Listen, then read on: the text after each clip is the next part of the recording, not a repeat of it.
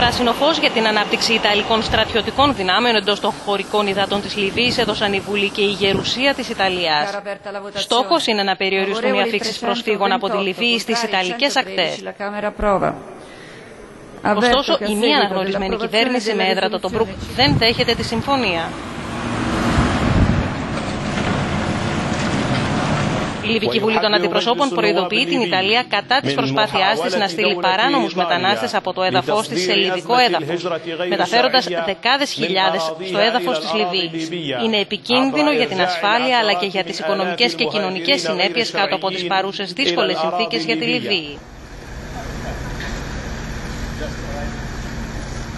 Η απόφαση ελήφθη μετά από σχετικό αίτημα της αναγνωρισμένης κυβέρνησης της Λιβύης προς τη Ρώμη και αφορά μόνο Ιταλικές δυνάμεις.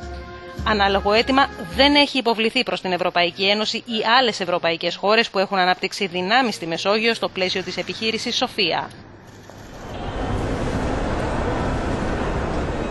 Μέχρι στιγμής, περισσότεροι από 95.000 άνθρωποι έχουν διασχίσει τη Μεσόγειο μέσω της συγκεκριμένης οδού, ενώ τουλάχιστον 2.000 έχουν χάσει τη ζωή τους.